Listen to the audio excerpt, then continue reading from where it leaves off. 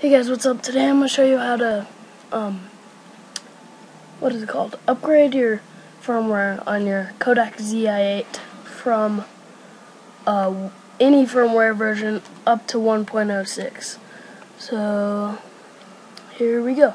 Let's go to this website right here. Um, put a link in the description. Uh, you'll just want to click on this download button right here. Then I'm circling with my mouse. Yep, just click on that, download it, save to, save it to your desktop or somewhere.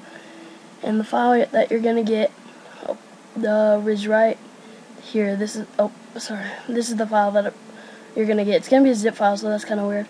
Yeah, you're gonna click, gonna click on browse, uh, select your desktop. It's on the top. Um, click on OK, and then click on unzip and let that do its thing you'll get this folder named Kodak. So you're going to want to double click on that and open that up. I kind of messed up right here. Okay, there you go. You got these two files in here. So you're going to want to highlight both of these. Down here on accident, I put them on my desktop. Well, actually, you're going to make want to make a new folder. Name it System. So there you go. There's the system one, and I already have one, so I'm just going to toss this one in the trash. As you can see, I already have one. Um, yeah, I'm gonna throw that away. There we go. Okay, so I have that system folder. No caps or nothing. Okay, open up. Didn't mean to do that. Open up this folder. Um, highlight these two things. And then I messed up right here too. I put them on my desktop instead of the folder. But put them inside the system folder. So the things inside of the Kodak folder, um, you're going to want to stick inside of the system folder. Okay, now you're gonna want to empty off your uh, what would you call it? Your SD card, completely like formatted and everything. Mine's not formatted, but whatever. This is just for demonstration. So you're gonna want to empty it off, uh, and then toss the system folder onto this while it's empty. So that this is the only thing.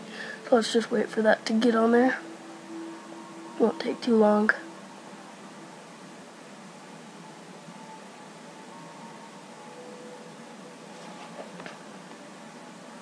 Okay, here we go. Oh, there we go. So we have the system folder on the uh on the mem on the SD card that you're gonna put in your ZI-8. Okay, then guys, now it's gonna go to me. Got my camera right here, my ZI-8, and you're probably gonna want to plug it in. So that's what I'm doing right now. grabbing this plug.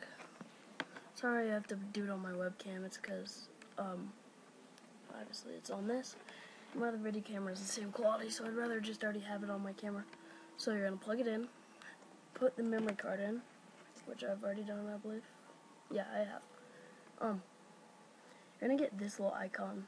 It's like a ZI-8 with a question mark and a little refresh button, and an X in a, in a check. So go to the check, and it'll do its thing. It says updating software.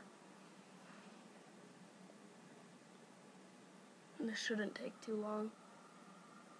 And the reason why you want to plug it in is because if it if like you drop it and the batteries die or something, or yeah, or the batteries die, then you see it's gone now. Um, then basically your ZI-8 is useless now. It's just like a brick.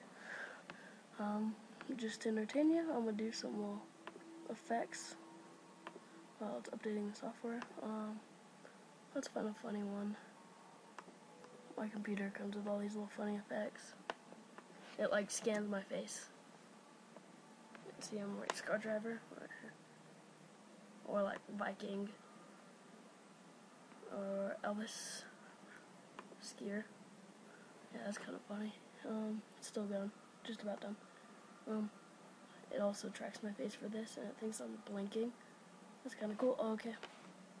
There we go. It just showed a check, and it's powering off. Um, so you just want to power it back on. Oh, yep, there we go. And it'll probably show up again. The little thing will. So what you'll do is just go into settings and format it. Prove it, I don't know if you'll be able to see this. But it does say 1.06 right there. Okay guys, that's all. Um, hope you enjoyed this video. Hopefully it was um, informing to you. And if and if you want, uh, if you have any questions, just put it in the comment box. Please comment, rate, subscribe. Be very thankful if you did that. Peace.